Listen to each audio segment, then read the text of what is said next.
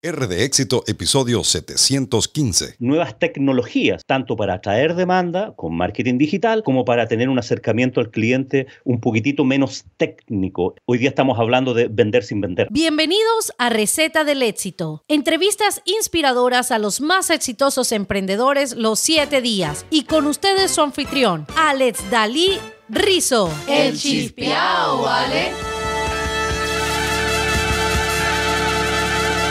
Amigas y amigos, bienvenidos una vez más a Receta del Éxito. ¿Y estás listo para tener tu propio podcast?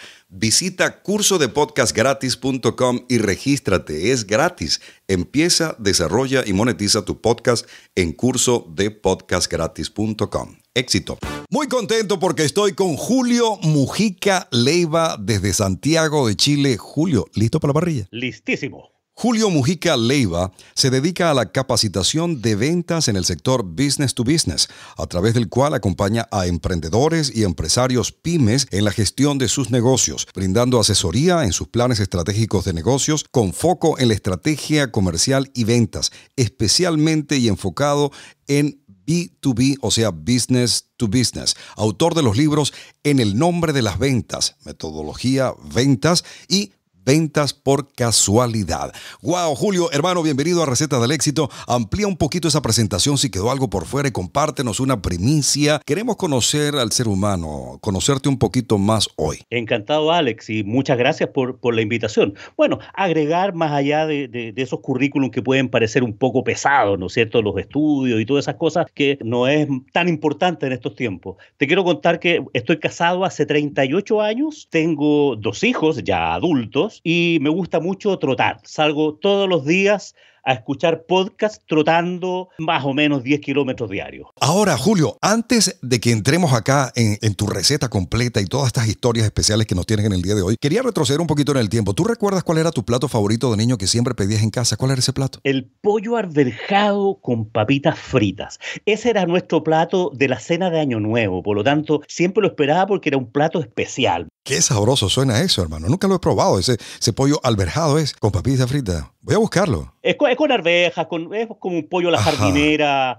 Con, con, papitas fritas. Muy, suena muy rico, rico, suena muy rico. Ahora sí, entrando, Julio, en tus neuronas de emprendedor, de empresario, si tuvieras que sacar una ficha y decir, mira Alex, donde yo puedo ayudar a más gente, mi área de mayor especialización, donde puedo crear mayor impacto en esta era, en esta realidad actual, es esta. ¿Cuál sería? Con el tiempo me he ido especializando en el mundo de las ventas B2B, business to business. Y actualmente doy clases a empresas, a grupos de vendedores, directivos de venta, gente que trabaja en áreas de marketing, ahora en formato virtual, antes lo hacía mucho en, formato presencial, y siempre en ventas B2B. Hago clases de eso y en este momento estoy trabajando en mi academia de ventas B2B con clases ya pregrabadas, con video, y quiero complementar eso con mi podcast de ventas B2B, con mi blog de edición semanal. Hago clases también en la universidad, alumnos de posgrado en temas de estrategias, de marketing y por supuesto de ventas. Y además soy director profesional de, de algunas empresas pequeñas, medianas, algunos emprendedores, los acompaño en su emprendimiento en esta cosa de, de mirar la empresa desde su directorio. Y además soy coach y mentor de emprendedores. Tengo varios emprendedores ahí, gente muy joven con la que me nutro aprendiendo y ayudándolos en sus negocios. Buenísimo. Además tiene dos libros también. ¿Cuáles son estos libros? ¿Quieres mencionarlos? Estos los, los escribí trotando. ¿ah? en, mi, en, mis trotes diarios, cuando no existían okay. todavía los podcasts, escribí dos libros. Uno es En el nombre de las ventas, y que era una metodología de ventas, y otro libro que hice que hace tres años, Ventas por causalidad. Y ese nombre que mucha gente se confunde, digamos, y dice ventas por casualidad. No, justamente ese es el juego que quería provocar. Una vez que me di cuenta y estaba haciendo un taller para emprendedores, y dicen, oye, ¿ustedes cómo venden? No, bueno, se dan las cosas, boca oreja, y decía, pero no puede ser que, que gente exitosa en, su negocio no tenga una metodología de ver. Y ahí me metí a escribir esos libros. Ahora fíjate, todos nuestros emprendedores en alguna parte del mundo que nos están escuchando eh, se debaten, empiezan a crear formas de monetizar su negocio, su emprendimiento, de generar ventas. Y algunos de estos modelos de ventas son precisamente B2B, de negocio a negocio. ¿Qué estás viendo de manera consistente, de manera constante, que la gran mayoría o que muchos, muchas empresas están haciendo que deberían dejar de hacer porque no funciona, porque no es relevante, porque ya no aplica hoy? ¿Y qué no están haciendo que según tú deben empezar a implementar nuevamente o empezar a implementar hoy, hoy mismo en la tarde, en su estrategia de ventas B2B? En el mundo B2B, el mundo de las empresas, es donde se desarrolla la mayoría de los negocios y sin embargo, todo lo que está escrito, todo lo que está en las clases, universidad, todos los podcasts, cuando digo todo, estoy hablando más del 90%, ¿no? Están dirigidos al mundo B2C, al mundo enfrentándose al cliente final. Entonces, falta mucho de una mirada un poquito más estrategia sobre la venta de empresa a empresa, porque la mayoría de, de esas ventas han recaído en personal muy, muy técnico. Gente que es especialista en la cosa técnica, ingeniero, gente experta en el mundo computacional, en, fin, en, en su producto, en su propuesta de valor. Y le falta ahí mirar este enfoque de mirar las ventas como parte de un proceso. Entonces, cosas que no están haciendo, la mayoría está mirando esta cosa con un enfoque muy antiguo, ¿no es cierto? Este, este enfoque de que el vendedor tiene que ir a la calle, ir a buscar clientes y, y no le han dado una refrescada al mundo de las ventas B2B en una mirada más de marketing digital, usando plataformas virtuales, tener una aproximación a los clientes desde los clientes necesitan y no desde lo que yo sé como experto que necesitan. Hace pocos días unos ingenieros muy técnicos me decían, oye, ¿yo qué les voy a preguntar a los clientes si los clientes no tienen ni idea de lo que necesitan? De ahí tú te das cuenta de que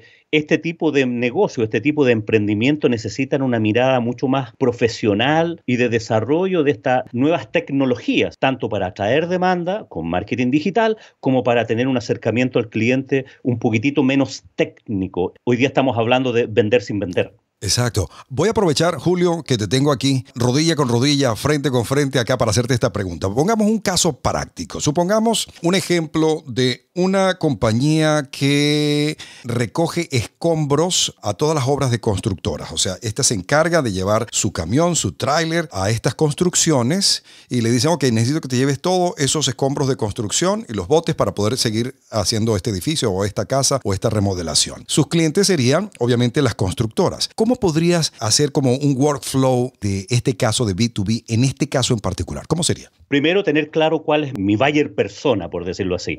¿Quiénes son mis clientes? Y entender si, mi nicho, si mi foco son esas empresas constructoras. Bueno, comenzar a hacer una lista de esas empresas constructoras y hacer lo que llamamos prospección nominativa.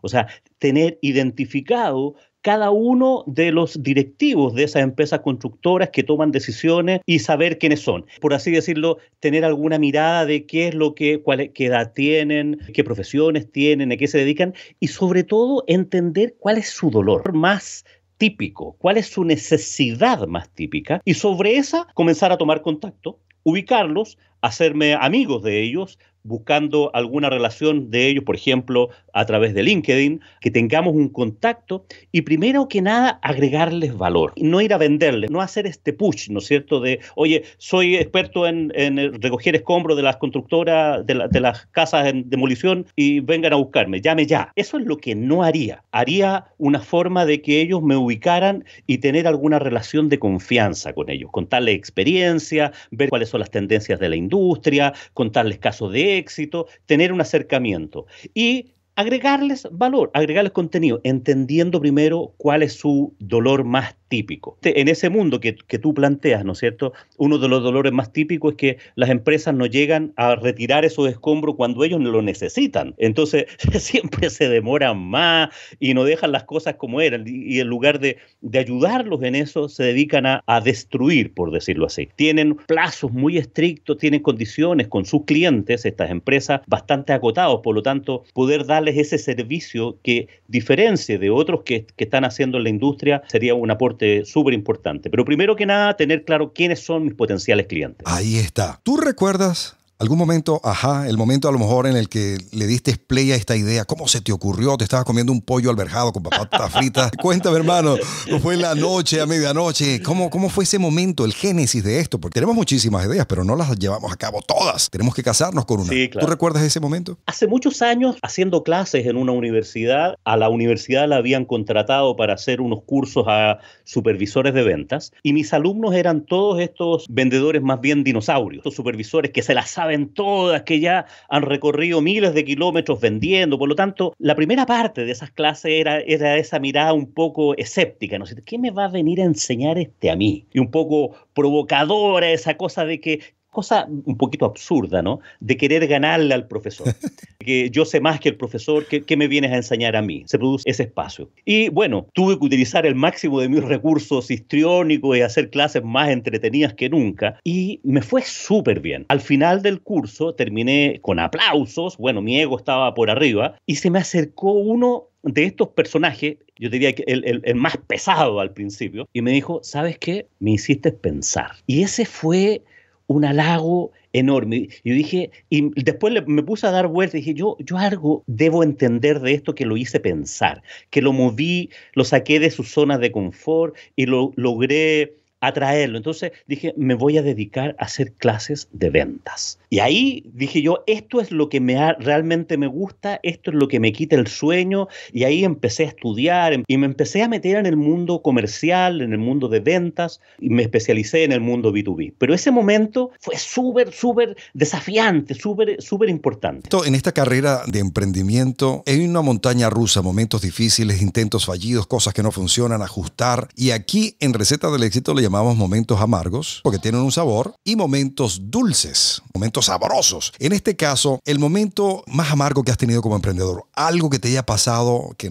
real, que te haya dolido y que te haya dejado una gran lección. ¿Qué pasó? ¿Por qué te dolió y qué aprendiste? Mira, a fines de los 90, escuchando en, en una conversación, en una reunión de directorio que estaba con estos empresarios más pymes, yo dije, esta gente necesita alguna instrucción académica para ellos, porque todo lo que existía en Chile respecto de cosas escritas o estaban pensadas en grandes ejecutivos de grandes empresas de bancos y no había nada, desde mi punto de vista, que llegara al alcance de este pequeño emprendedor que era especialista en su producto, en su empresa retirando escombros, digamos. Pero estábamos en una reunión de directorio donde estábamos revisando estado financiero y no sabían ni de finanzas, ni de marketing, ni de venta, ni nada. Entonces dije, voy a hacer una revista para entregarles contenidos a estas personas, contenidos académicos. ¿Y cómo los voy a hacer? Bueno, teniendo yo una red de consultores amigos que estaban dispuestos a escribir perfecto, expertos en temas tributarios, en temas de comercio exterior, y ellos me aportaban con sus escritos. Y me puse de cabeza a hacer una revista, Mundo Pyme, dedicada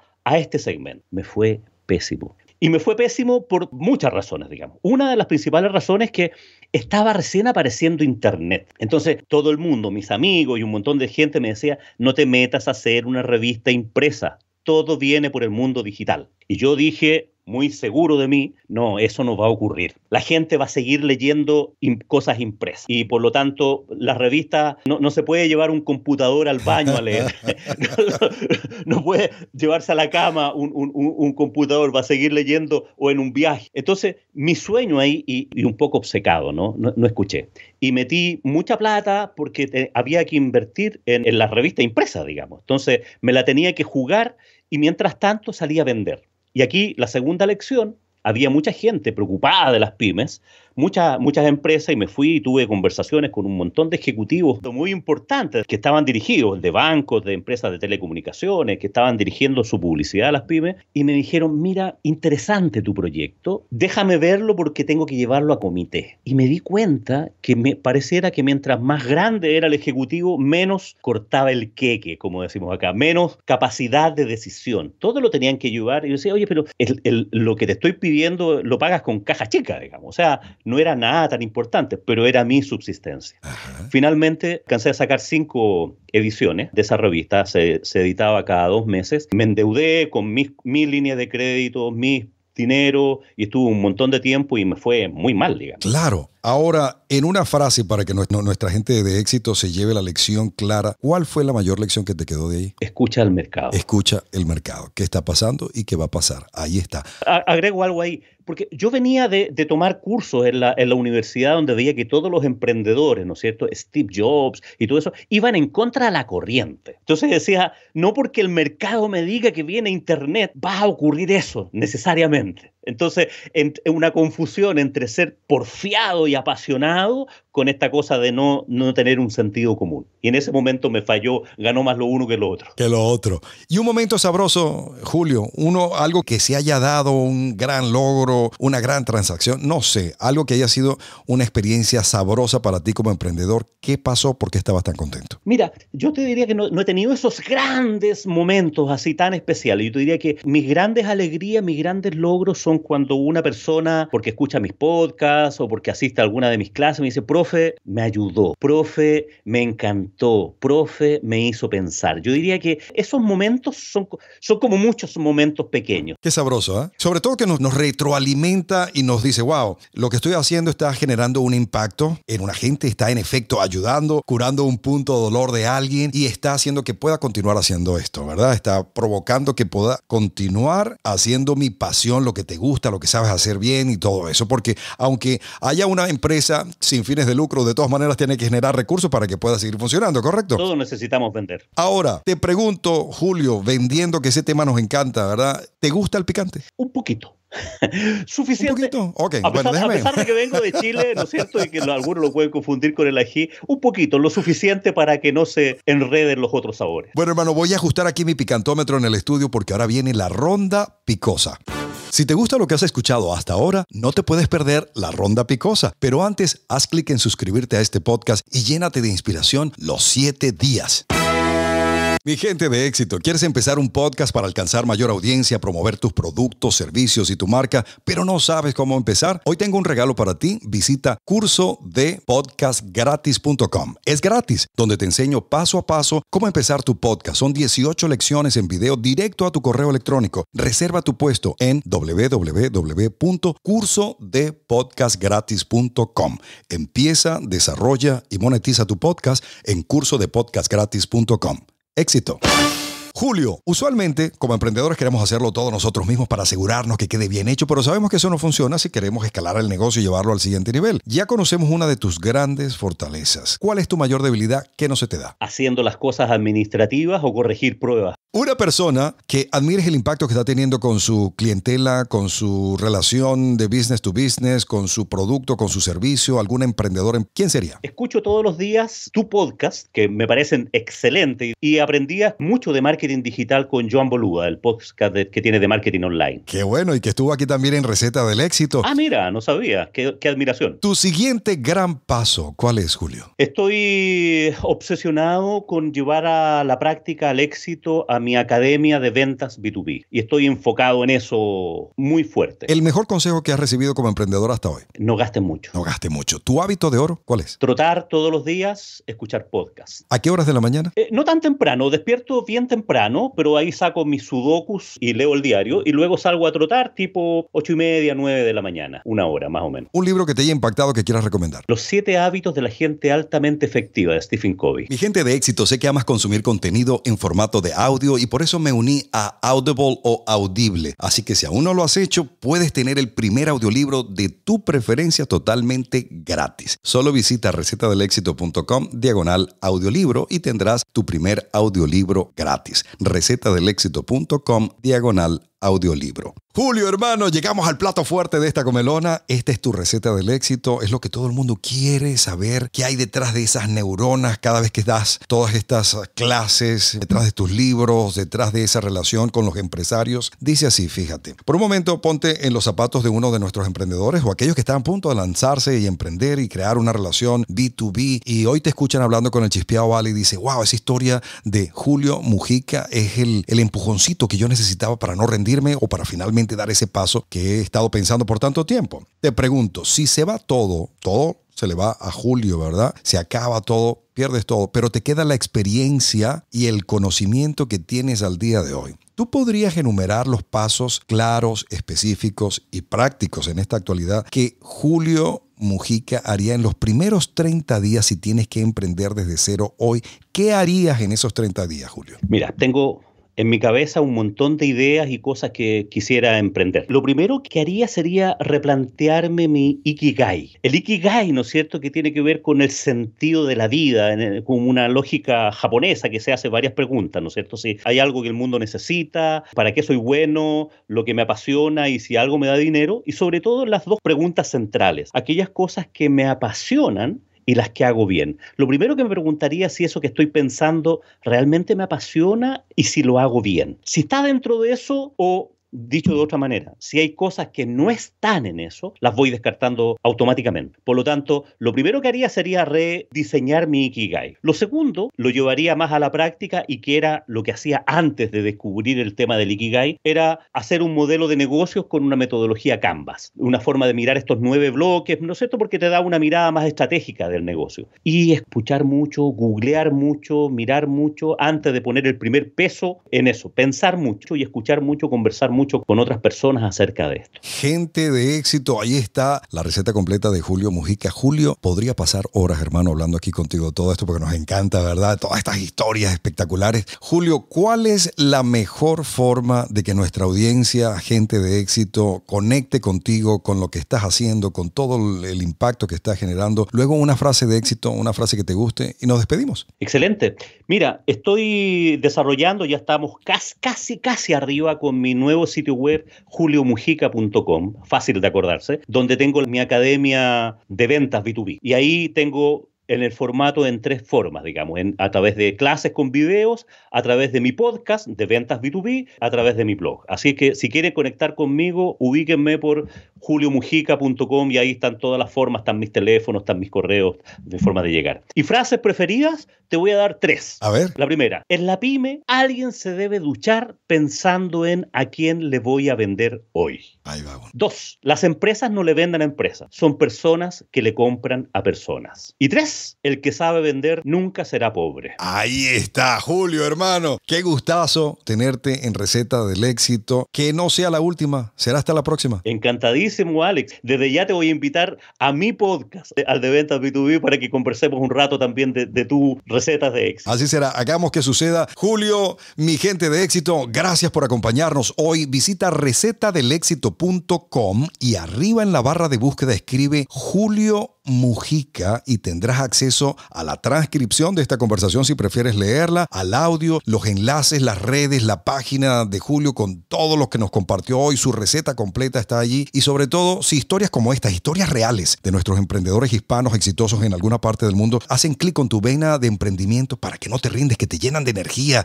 de, motivos, de, de sí se puede, ¿verdad? Y de no te rindas, son las que hacen clic contigo. Entonces, suscríbete a este podcast, compártelo con alguien que pueda estar necesitando esta información, haz tu obra del día, pero sobre todo llénate de inspiración los siete días. Gente de éxito, será hasta mañana. Les habló Alex Dalí Rizo. El chispiao, ¿vale? Mi gente de éxito, ¿quieres empezar un podcast para alcanzar mayor audiencia, promover tus productos, servicios y tu marca, pero no sabes cómo empezar? Hoy tengo un regalo para ti. Visita curso de podcastgratis.com. Es gratis, donde te enseño paso a paso cómo empezar tu podcast. Son 18 lecciones en video directo a tu correo electrónico. Reserva tu puesto en www.cursodepodcastgratis.com. Empieza, desarrolla y monetiza tu podcast en cursodepodcastgratis.com éxito. Mi gente de éxito, si todavía no tienes un embudo de ventas o el que tienes no está generando ganancias, ¿qué estás esperando? Tengo el entrenamiento perfecto para ti. El fundador de ClickFunnels, Russell Bronson, ha preparado un reto increíble, One Funnel Away Challenge. 30 días de entrenamiento enfocado, donde aprenderás a crear estratégicamente funnels y productos que se hagan número uno en ventas, usando tus propios hobbies y la pasión que ya tienes. Regístrate ya en recetadelexito.com diagonal reto. Nuevamente, recetadelexito.com diagonal reto.